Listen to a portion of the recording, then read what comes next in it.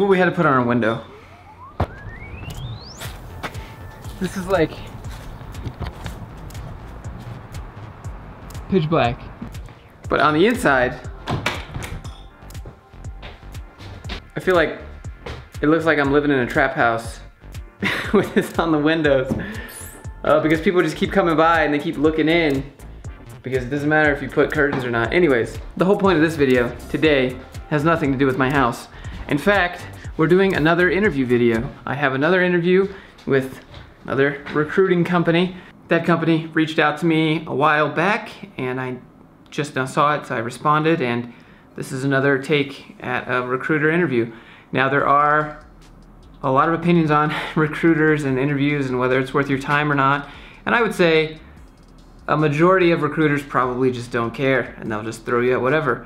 And then there are recruiters that do care and that will try to fit your needs. And I would say that this guy was really genuine and he would really want to place you somewhere where you fit. It is one of those places where I've talked about how you work for the recruiter first before you get hired, contract to hire, where they scrape off the top of your salary. So they're charging a company $100, you're getting $70, then that's how they make their money. Or if the company wants to buy you out early, they have to pay out 1,040 hours worth of work to the contracting company as payment to hire you full time. And so that's why companies don't tend to do that. They kind of make you wait it out. But if you show that you're good enough on day one, you know, they might just buy you out. But that's what's going on here in this recruiting interview. I try to make the recruiters be as like transparent as possible so I asked questions that probably, he's like, why are you asking that? Just because I want to show you guys how this works. So don't get too in your head when you're doing interviews. Just be yourself. I think that's it. Shout out to all the patrons that support the channel. If you've ever considered supporting a creator online, you know, maybe consider me next time. I have some resumes and cover letters that also support the channel. There on my website, you can go check those out if you want. We have a Discord if you want to shoot me a text or message me or shoot me an email. A lot of great people in there. If you want to see more of these, I keep making them. Subscribe, hit that like button. Let me know what you think. One note real quick, he did send me the jobs that he was talking about in this. He sent me over three jobs. They're all $90,000 plus salary or working for the recruiter is $45 an hour. Let me give you the required skills and descriptions if you guys are interested in what he matched me with. So we have a PHP, JavaScript front end, two years required, three years experience of LAMP stack, testing with, okay, so this one's really not for me. I've been doing LAMP for three years straight. Can accommodate periodical work from home, 80% on site though. Eh, maybe I could be a LAMP stack developer. And the last one, 90,000 plus JavaScript developer on site, two years JavaScript experience. They want a computer science degree required. I don't have a computer science degree, so I don't know why he sent this to me, so it must not be required. Pretty good job results, and uh, let's get started with this. Hope you enjoy it. All right, so it is 10:28 in the morning, and I have another interview. Again, if it seems like I'm not really interested or I'm kind of arrogant, uh, I by no means intend to be arrogant or like a jerk. I just try to ask the questions that I know people want to know, but they don't ask because they're afraid of not getting the job, and I'm not. So I want you guys to be able to get answers, you know? Ask the questions. Don't be scared. It's okay. You're interviewing them just as much as they're interviewing you. Just remember that. Has to be a good fit both ways. Can't do the other one. Uh, uh, uh, uh, uh, I can only do the left eyebrow. The things you think about while you're waiting for an interview. I think it's better if you think about random things than you start getting too much in your head. This, this is the thing, like uh, Floyd Mayweather, for example, right? He is notorious for kind of just sitting on the couch watching the game before he has a big fight. A lot of people are like, aren't you nervous? Aren't you scared? Like, why aren't you prepping? He's like, look, I've either put in the work or I haven't. And the results will show for themselves. I'm gonna start working on my video here in a minute. If he doesn't call me. Now, 11.23. See what the dealio is. Hey, this is Josh. Hey, yeah. Hey, Josh, how's it going? It's not too bad. Everything good with the other guy? Good. Yeah, he's good now. Had uh, to, someone was scheduled to start, but we got to make sure we have some things in place for him, so it took a little bit longer than expected. Um, some flexibility. Wanted to, uh, you know, touch base with you. I've got your LinkedIn profile and your resume pulled up. wanted to get a sense for your current situation and, and what you might be looking for out of your next role. See if we have anything that aligns. So, as far as tech stack, I'm open to pretty much everything that's on my resume, and I say that because I've done a lot of different web development technologies. I'm not really language specific, so to say, uh, so to speak, but uh, more about you know let's use what works. So as far as like what tech stack I absolutely have to have, I'm pretty open. That's not a huge deal Yeah, to me. What are you? What would you say you're the best at? Probably JavaScript and PHP. JavaScript, PHP. Um, and how many years overall would you say you have with both of those? Three. Three years. Okay. And what type of projects are you working on currently? So I'm a part-time code teacher on weekends, teach code to people, and the current position is a C sharp position. It's like a sandbox software for nonprofits.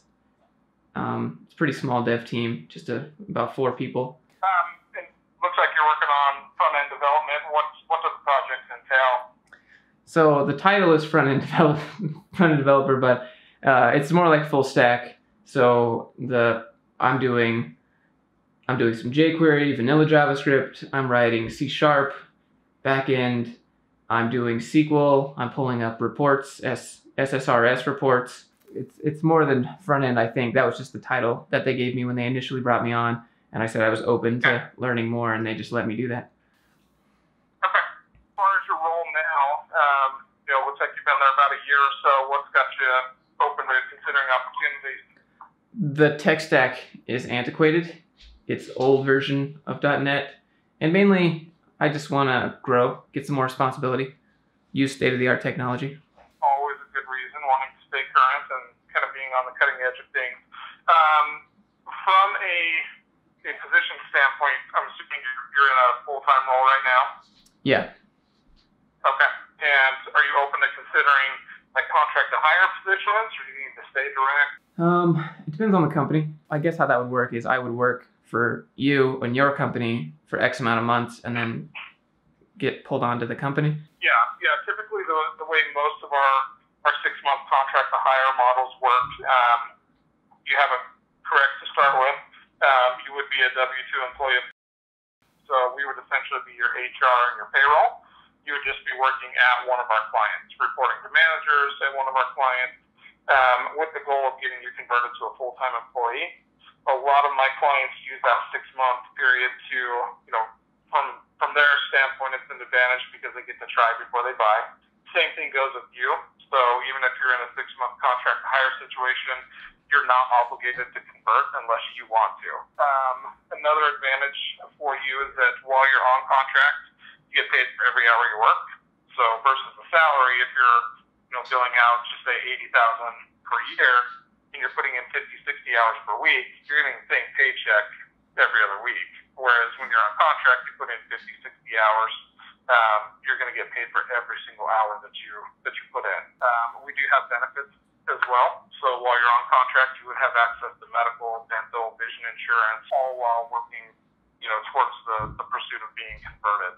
And most of our clients, they typically just use the six month contract to hire window as a way to spread out the placement fee over the course of six months. So they can bring um, you on quicker and have us take care of all the billing and all the administrative stuff until they're ready to say, okay, we've got you know budget for this full time role. Let's go ahead and convert you.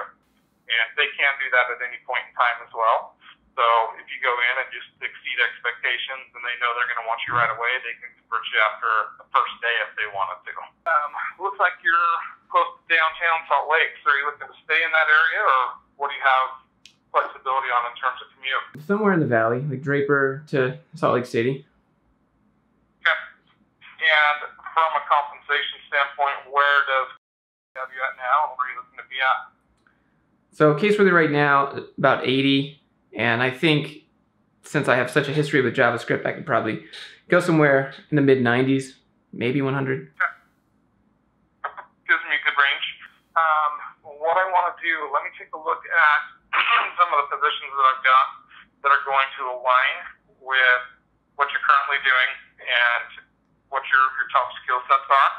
Um, give me a little bit to get those put together and I'll send them out and we can start talking about each one and see which ones we want to move forward with. Okay. I did have one question about the converting from contract to hire, what's the rate Sure. where they say no, thank you? Um, so it's based off of a thousand and forty hours. So they can they can convert you at any point in time. It's really just a sliding scale. Um, in terms of you know their their direct hire, the closer they get to six months worth of work, the less that they're going to have to pay. And ultimately, when you knock out a thousand forty hours, they can convert you at any point in time. Um, but as far as them, you know, saying this isn't the right fit, we want to get rid of, um, we want to get rid of Josh. That's really up to the manager, and they can do that at any point in time, just like they could if you were a permanent employee. Sure. I was just wondering if that happens often. I've never done contract to hire. I just know how it works. I was just curious what the statistics are. Like out of 10 people, Um, you know, how many don't actually get pulled on full time? maybe 10 to 15 percent of the time, and a lot of it is because that person really is not a fit, or something else comes up and the person leaves. So just like they can, you know, terminate your performance, and any company can terminate your performance, you also have the flexibility if something comes up on the permanent side that you can leave as well. We just ask for the courtesy of a two-week notice. Um, but you know, ultimately, companies don't want to be hiring. They want to have somebody that is in the seat and functioning well. So for the most part, the roles that we see, the the people that don't last in the six month contract to hires or even in the permanent roles are the ones that go in and, and just aren't cutting it. So I guess I'll So, just, and that's why we'd help help minimize that by us being in, in constant contact with you while you're on contract as well as speaking to your manager, Mhm. making sure that you have what you need to be successful. as far as like flexibility goes in the companies that you have, um, do you have any that are like open to or like have remote days or are they all in office? I mean, you may not know off the top of your head, but just if you, It's you know, gonna be it's gonna be company specific. Um, there's a model that I can say like you know these, types of companies do remote. For the most part, you're gonna be looking at and plan on being on site full time. Um, I do have some companies like we've got one up in downtown Salt Lake that every Thursday the entire dev team works remote. So each company is going to be unique. They are going to have some flexibility in things like if you have a doctor's appointment or something urgent comes up, that they're going to allow for stuff like that. But if it's something that's like reoccurring every single week, they're not going to they're not going to do that. Okay. So I guess I have another question. Based off of what you can see off my resume, my experience, what kind of compensation would you be looking at trying to place me towards? Based off of your resume, we're going to be targeting, and you kind of already mentioned it already, anywhere from like 80 to 95k. That's what I'm seeing right now for someone with about three years of solid professional experience.